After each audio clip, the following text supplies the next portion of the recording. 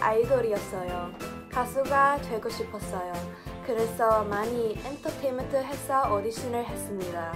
한국말 너무 못했기 때문에 오디션을 못 봤어요. 공부하기 위해 음악을 사용합니다. 저는 여러분을 위해 노래를 조금 부르고 싶어요. 내 꿈은 너 탄탄해질 테니 다시 시작해. 한국 드라마를 많이 봤어요. 최근에는 나의 아저씨를 봤어요. 너무 재미있고 배우들이 연기를 잘했어요. 드디어 결정적인 순간이 왔어요. 그땐 이 생각 하나밖에 안 들었어요. 내 요리가 맛있을까? 그런데 결과는 너무 좋았어요. 트와이스, 아이콘, 아이유, 방탄소년단. 저는 이해하고 싶어요. 그래서 저는 한국어 배워요. Our first place winner in the introductory basic division is Aaron Brogan. Congratulations. 한글은 너무 대단해요.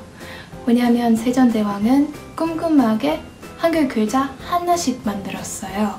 그 들 글자가 너무 예쁘잖아요. 근데 한자보다 한글이 한국 언어로 잘 어울리는 것 같아요.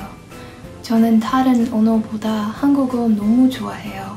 이유가 많은데 한 가지 이유는 글씨예요.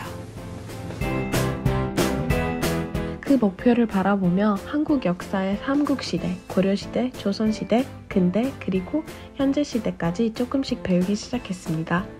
요새 젊은 사람들은 표준어를 많이 쓰다 보니 각 지역의 특색인 사투리가 옅어진 것 같아 너무나 안타깝습니다. 사투리는 문화의 보물인데 꼭 이어갈 수 있었으면 좋겠습니다.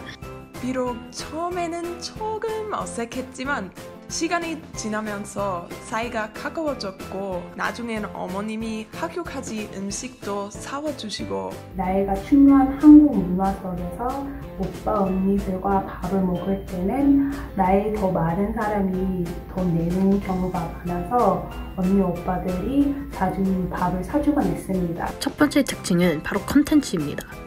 음악뿐만 아니라 등장하는 여러 예능, 영화, 방송, 다큐멘터리 등 밴드를 위해서 제작하고 관심을 지속적으로 끕니다.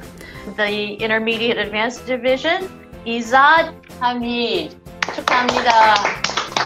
예를 들어 방탄소년단의 어, 응원봉은 한 색깔뿐만 아니라 다른 어, 원하는 색깔을 선택할 수도 있습니다. 그래서 가장 좋아하는 한국 문화입니다.